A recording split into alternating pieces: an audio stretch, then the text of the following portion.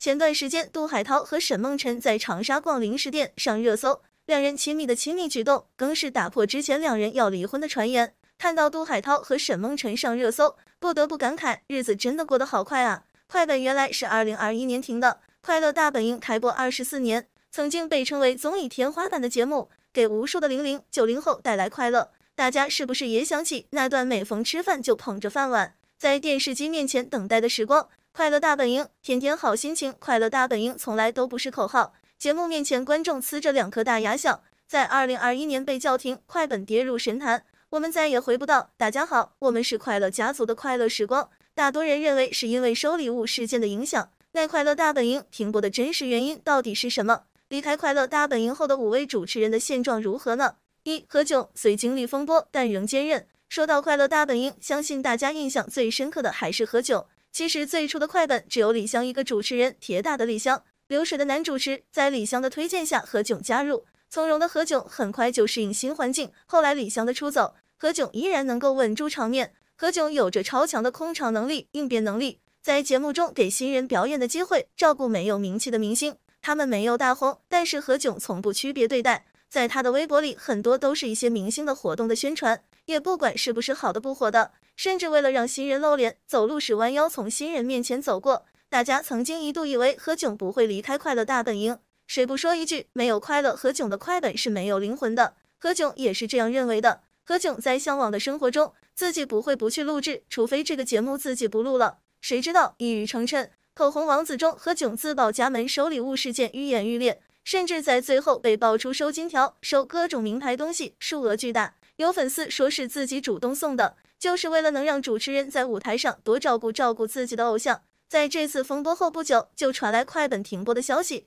离开快本的何炅好像也没有过得很差。在接档快本的综艺里，你好星期六，何炅依然是核心担当。明星大侦探依旧火热的进行中，还主持了央视的分场晚会和撒贝宁的同框，也令人惊喜。有人说湖南台不可能放弃何炅的，虽然有收礼物的事件发生，但是在平常的为人处事、专业能力都是无可替代的。并且和何炅相处的人，没有人说过他的坏话。二谢娜有所改变，方向不同。提到何炅，我相信大家会不知觉的想起，经常在何炅身边叽叽喳喳的谢娜。在快本上的时光是谢娜的巅峰时期，这个活泼开朗、时常有些疯癫的女主持人，被大家称为太阳女神，在舞台上非常豁得出去，不在乎美丑。可能很多人不理解谢娜的红，当时谢娜的微博粉丝是第一个破亿的。直接创造了吉尼斯世界纪录。虽然谢娜在屏幕上，她给我们带来了许多欢乐，但是在能力上却还是有一些欠缺。在快本上那种欢乐打叉的气氛适合谢娜，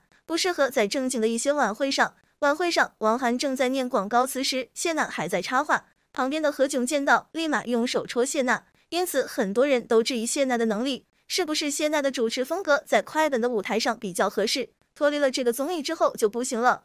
同时上不了台面，难听词也出现了。谢娜在快本之后资源还是挺好的，但是看似资源挺多，但是让人印象最深刻的还是《乘风破浪》二零二三中改头换面，一改之前大大咧咧的形象，在节目中大方自然，有时候的着装还酷酷的。有时会参加综艺，但是更多的是回归家庭，在自己的小家庭里美满幸福。从前的老路行不通，现在只有改变风格来找寻出路。只有在这条布满荆棘的道路上深耕专业，才能走得更远。三，李维嘉毒舌梗王，新的生活。李维嘉在大家心中的形象一直是毒舌多梗。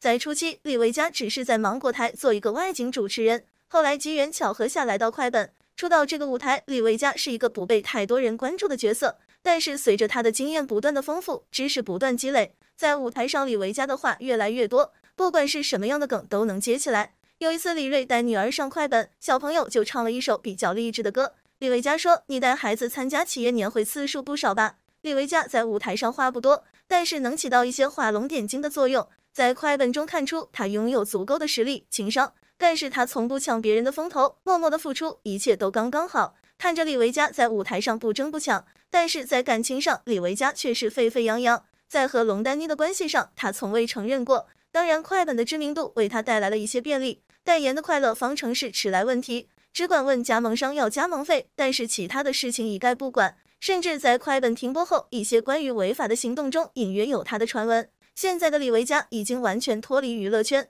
观众不知道他的任何信息，只在二二年是发了一条微博，人正在减肥，燃脂挺快乐的。在今年的哈哈哈哈哈中，让我们意外的是，李维嘉竟然出现。他似乎回到了舞台上，但是其他的消息还是不多。像李维嘉这样，与其说没有资源，不如说是他自己选择了认为适合自己的生活方式。每个人都在用力的活着，或是寻常在舞台上的掌声雷鸣，亦或是没有鲜花衬托的普通日子，只要足够清醒就可以。四杜海涛争议不断，结果真实。和不争不抢的李维嘉相比，杜海涛虽然在快本上是一个边缘人物。但是在一些行为准则上，杜海涛是既大胆又疯狂。这种事情在所有人听来都匪夷所思，但在杜海涛的身上发生了。在见到偶像权志龙后的杜海涛真是万分激动啊！见到偶像太激动，当场下跪，被网友说没有骨气。在著名的伴郎事件中，被网友说不尊重女性。不光是这一件事，在他的感情上，和同台的吴昕刚开始时不时的有些通告传出，让人猜测。在后来和沈梦辰的恋情更是受到万众瞩目的阶段，在女儿的恋爱中与沈梦辰的狗粮，在座的每一位都吃过。在这一段时间，杜海涛的热度居高不下。再到后来，杜海涛减肥，让每一位观众都认知到一个问题：不是所有的人瘦下来都好看，有的人瘦下来连可爱都没有了，哈哈哈。在这段恋情中，因为不结婚，他受到很多人的质疑，终于在二零二二年与沈梦辰结婚。天上的喜鹊叫乖乖，谈了九年的爱情终于有了结果。但是在后来这段时间，杜海涛一直没有一个常驻的综艺或者主持人，再有消息传出也都是和婚姻相关。当然有人说他不缺钱，在现实生活里活得有滋有味。五吴昕面对谩骂默默努力，同杜海涛一同被湖南台选进去的吴昕，在快本上可以说是存在感极低。在快本中，他时常被说是主持功底不行，衣品不好，腿粗。但是他在谩骂中长大，在默默无闻的日子里，一直都在学习，都在改变。机会是留给有准备的人的。